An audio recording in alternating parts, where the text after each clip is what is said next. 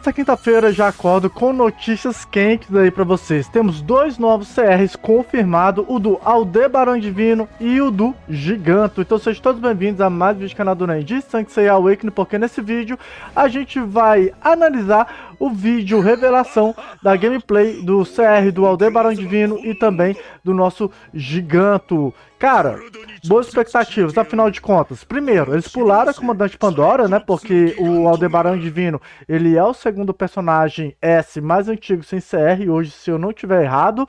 E a Comandante Pandora, né? Como você já sabe, eu quero que skipa ela muito. E temos um novo CR também, do Giganto, que, pô, tem um Kaiser, o Kaiser recebeu seu buffzinho, foi o vídeo anterior, vou deixar também nos cards também. Então, será que vai ter né, alguma forma do Giganto ficar mais ofensivo para comprar com o Kaiser? É muita coincidência ou não? O que, que vocês acham? Então, estou com um vídeo de revelação aqui do Bilibili e vamos destrinchá-lo aqui para vocês. Então, tá aqui o a gameplay. Vou deixar aqui para vocês verem é, inicialmente o que, que estou fazendo. O do Giganto é rapidinho, só tem uma cena só, né? Para variar. É, os classe A sempre feito com má vontade. E temos aqui o do Aldebaran Divino, que ele vai aplicar dois efeitos, sendo que a gente já consegue ver que o CR dele vai ser na quarta skill porque tá sem o ícone. Mas o do Giganto não tem nenhum ícone diferente. Então do Giganto realmente a gente não sabe qual que vai ser. Não que eu tenha percebido, mas no caso do o Giganto é fácil ter tudo 5, né? Então, para ficar aquela informação também, né, para todos os jogadores que ainda não pegaram o Giganto lá no naquela expedição do santuário para pegar ele também. E aí o nosso Aldebaran, olha só, de forma passiva, né? Vai usar aí também o Ranca Alma. Isso aí é bem interessante. Vamos ver agora as situações para a gente ativar todos esses efeitos aqui. Então, primeiro vídeo, deixa eu só desacelerar aqui o vídeo. Beleza? Aqui, ó, as habilidades do gigante.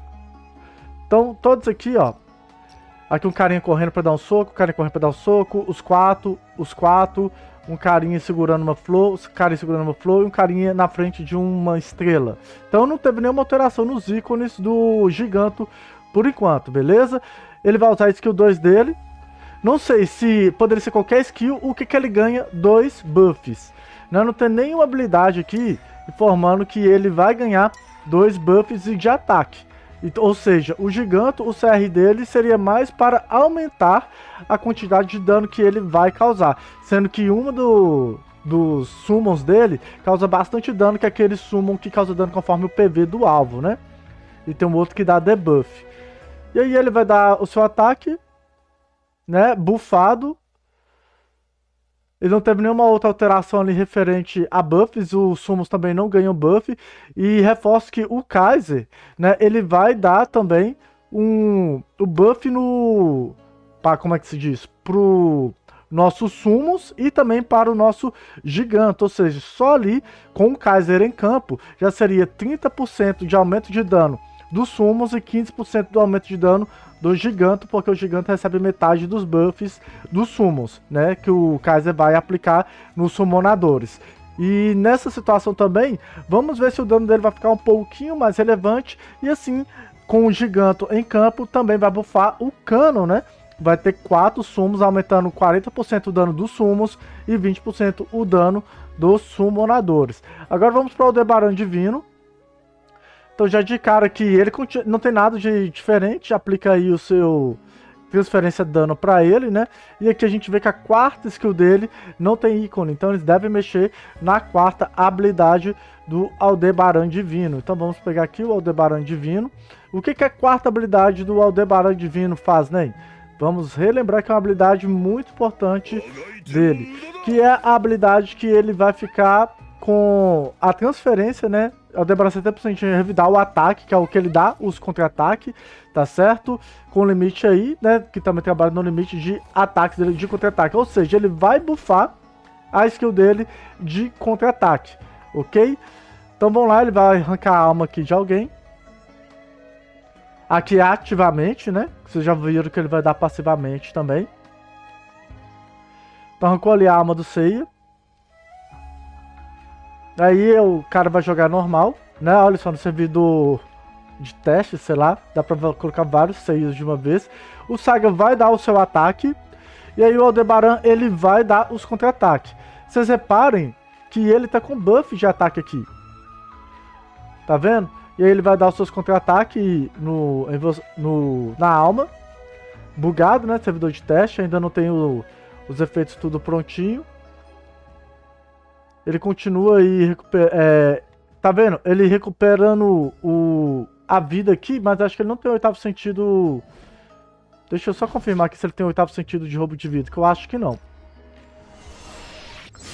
Ó, ele não tem roubo de vida. Parece que em um determinado momento ele vai começar a recuperar a vida também. E vocês viram também que ele está com buff de ataque, né? Então os inimigos vão dar o ataque aqui em mim e como vocês podem ver, ele não tem buff de ataque aqui atualmente. Ou seja, ele vai ter uma mecânica de além de roubar o é, roubo de vida em algum momento que a gente não sabe, porque ele deu ali 3, 4 ataques para roubar vida, ele também vai aumentar o seu dano. Quantos que é, a gente também não vai saber, né? Aqui, mas a gente vê aqui que ele tem o aumento de ataque. Isso aí é bem da hora. E ele apontou aqui pro inimigo, parece que é 3 stacks. Tá vendo que tá contando os stacks aqui? O, a alma tem três stacks, então quando ele dá o terceiro ataque, ele vai recuperar um pouquinho de vida, alguma coisa assim.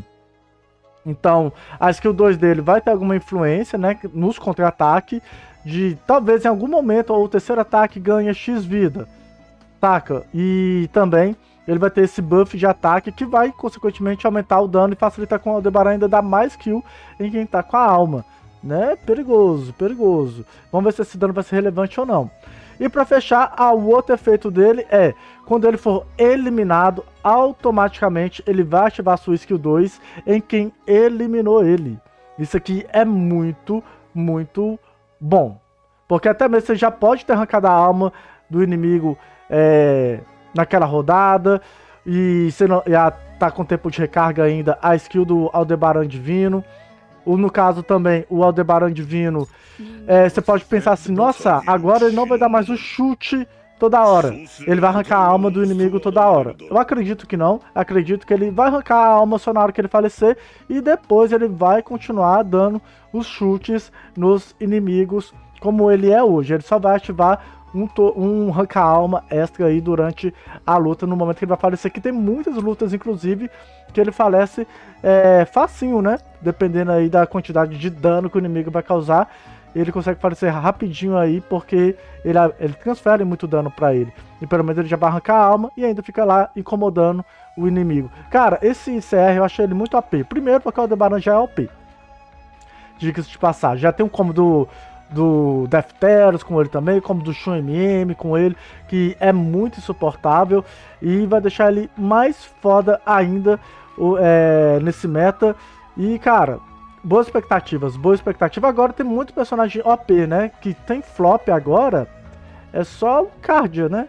Que da, da próxima. Aí o. Ah, então o Gestalt também, mas temos o Doco Divino e a Comandante Pandora, hein? Né? Esses aí estão então, assim, na porta já solicitando já em atraso. Mas é isso, galera. Esse aí então foi um pouquinho do Aldebaran Divino do Giganto.